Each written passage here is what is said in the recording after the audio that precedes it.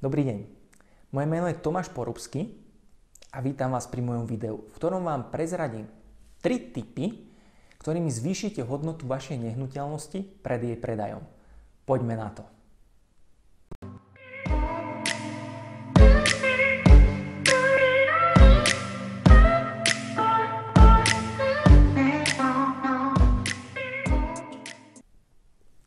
Prvý tip.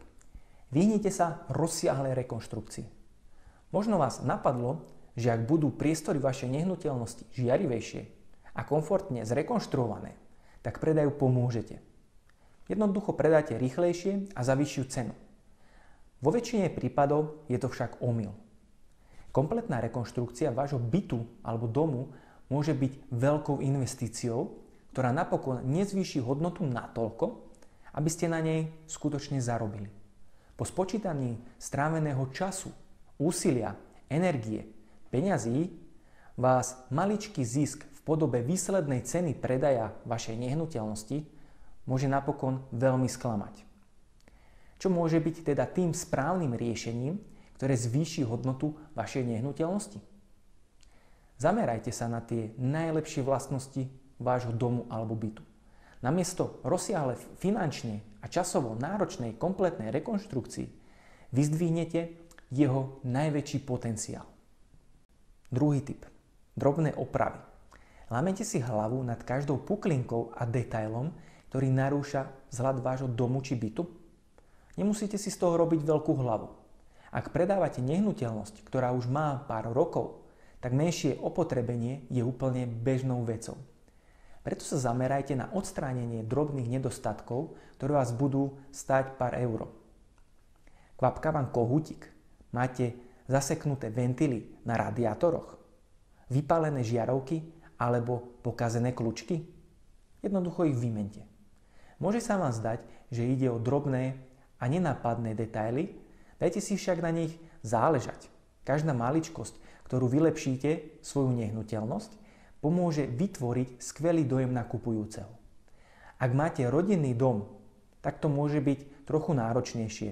A pri rodinnom dome platí, že vysoké investície sa nevyplácajú tiež. Starý kotol nemusíte vymieňať, stačí, ak dáte urobiť napríklad revíziu. Správnym krokom môže byť aj vyčistenie komína a výmena popraskaných šindlov na streche. Tretí tip, urobte dojem. Predstavte si, že idete na obhliadku domu, ktorý vás zaujal z inzerátu. Prichádzate pred dom a uvidíte nepokosenú trávu, vyschnuté kvety Záhradné náradie pohodené na zemi a špinavý bazén. Pri vstupe do domu je v chodbe plno topánok.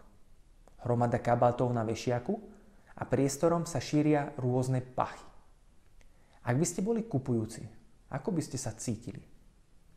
Pravdepodobne by vaše nadšenie z domu výrazne kleslo. Ľudia sa väčšinou rozhodujú na základe emócií a ako sa na danom mieste cítia. Čo môžete spraviť, aby ste vytvorili dobrý dojem o kupujúcich?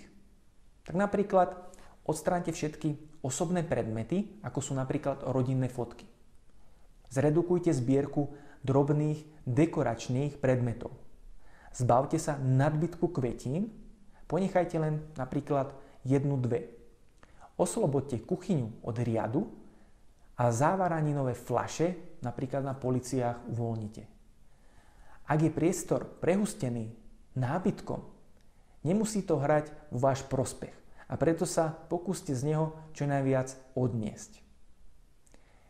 Ak by som to mal tak celé zhrnúť, zredukujte všetko, čo je v priestore navyše. Potom môžete spraviť jednu z tých najdôležitejších vecí. Upratať. Čistota a poriadok sú tí najlepší pomocníci. Kupujúci to ocenia a zanecháte v nich veľmi dobrý dojem.